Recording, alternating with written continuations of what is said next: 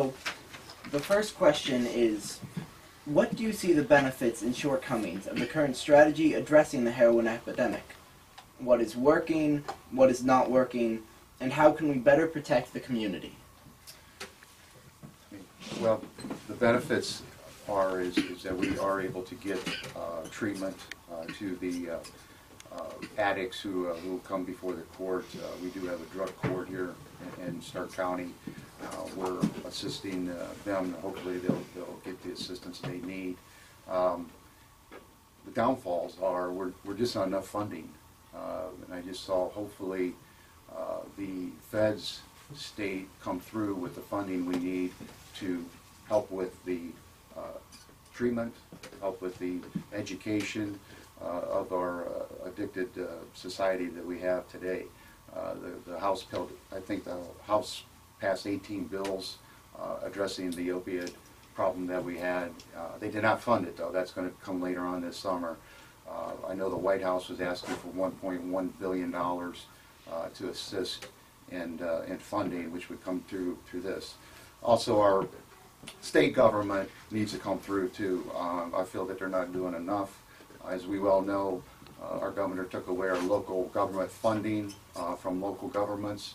That really, really hurt all of us uh, in, in the county, city, and uh, to, to fight this uh, bad addiction. So hopefully, he's built up this billion-dollar rainy day fund. Well, believe me, uh, it's not only raining, it's storm, storming out there when it comes to the heroin. And we need, uh, we need some action from the state to help us uh, fight this, fight this terrible problem. And, you know, we, as a prosecutors, um, you know, work with the CHANCE program. We try to get the people who are picked up with uh, possession of heroin or any type of drug, try to get them in a program, try to have extensive uh, uh, program where they, they try to get through their addiction and uh, hopefully become a, a, a good res, a, a citizen uh, out in society again. Well, ladies and gentlemen, uh, the- frankly, nine out of 10 heroin addicts that complete treatment relapse. Uh, And that's not counting the ones that start treatment that relapse before they complete treatment. I saw one study that indicated that 98% of heroin addicts relapse within five years. So I think we have to face the reality of the fact that the treatment programs we have simply do not work with heroin addicts. They have never worked, they're not working now. Uh, And so it is uh, simply not correct to think that we can treat these people. They, they simply are not amenable to treatment. What we don't do is demand from them the information of where they get their dope. And that's what I, I've done in my practice for years. The first question when someone comes into me, if you want me to represent you, fine, but you need to tell me where you get your dope, and I'm going to tell the police. I have found that they don't go back to that same person and buy dope, and it does give some assistance to law enforcement. Uh, this word has kind of gotten out about me, and that's why you don't see very many people charged with heroin coming in and see me.